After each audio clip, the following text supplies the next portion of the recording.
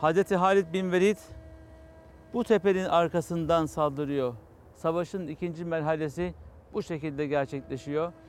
700 Müslüman süvari Efendimiz Aleyhisselatü Vesselam'la beraber 3000 kişilik orduya karşı savaşıyor. Müthiş bir müthiş bir rakam. 3000 zırhlı 700 askere karşı. Onlar kurulmuş savaş ordusu. Burası İslamiyet'i savunan peygamberin yanında olduğunu, Allah'ın kulu olduğunu ve bu bilinci burada kendince Allah Resulü'nün yanında olarak bu gururla, bu ihtişamla, cihat ruhuyla onlara müdafaa yapmaya çalışan bir topluluk.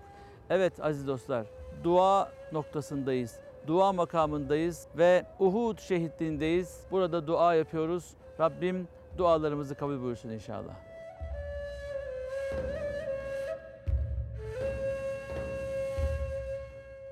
Evet, şimdi şehitliğin önündeyiz. Hazreti Hamza içeride. Ve şehitler, 5 şehit, 70 şehidin 65 tanesi buradan Cennetül Bakiye, Efendimiz Aleyhisselatü Vesselam'ın emriyle, müsaadesiyle nakledildi. Ama 5 şehit burada. Bu 5 şehidi ve bütün şehitleri İslam uğruna şehit olmuş bütün şehidayı rahmetle, minnetle, dua ile yad edelim. Buyurun hep beraber amin diyelim bu yüce makamdan. Amin. Elhamdülillahi Rabbil alemin. Ve salatu ve selamu ala Resulina Muhammedin ve ala alihi ve ashabihi ecma'in. As-salatu ve selamu aleyke ya Resulallah. As-salatu ve selamu aleyke ya Habiballah. Ve selamu aleyke ya seyyidel evveline vel ahirine indallah. Esselamu aleyke ya Hazreti Hamza. Esselamu aleyke ya Abdullah ibn Cahş. Esselamu aleyke ya Mus'ab bin Umeyr.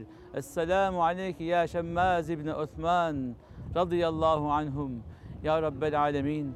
Burada alemlere rahmet, Hazreti Muhammed sallallahu teala aleyhi ve sellem Efendimiz ve onun İslam güneşinin daima yansıması için hep yanında olan ve canını ortaya koyan başta Hazreti Hamza olmak üzere bütün şehit ve şühedayı rahmetle, minnetle yad ediyoruz. Ya Rabbi dualarımızı ayrı ayrı ikram eyle. Cennette şehitlerle beraber Ya Rabbi bizleri de haşreyle.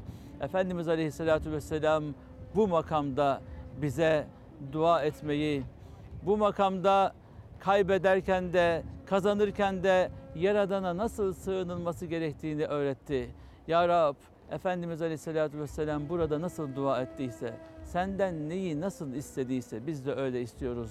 Bizlere lütfeyle. İslam güneşini, İslam sancağını daima payidar eyle ya Rabbi. Dünya insanlığına İslam güneşini, İslam'ın bütün güzelliğini görmelerini ve sana ebedi aleme güzeran etmeden önce senin varlığından haberdar olmayı, kainatta olan her şeyin sahibi olan ve her olan şeyin de yaratıcısı olanın sen olduğunu bilerek Ya Rabbi İslam'la müşerref olmalarını ve huzuruna yüce makamına gelirken Müslümanlar olarak tüm insanlığa bu elbiseyle gelmeyi Ya Rabbi nasip eyle. Salli ve sellim ve barik ala eşrefi ve es'adi nur cemil enbiyai vel murselin velhamdülillahi rabbil alemin. El Fatiha.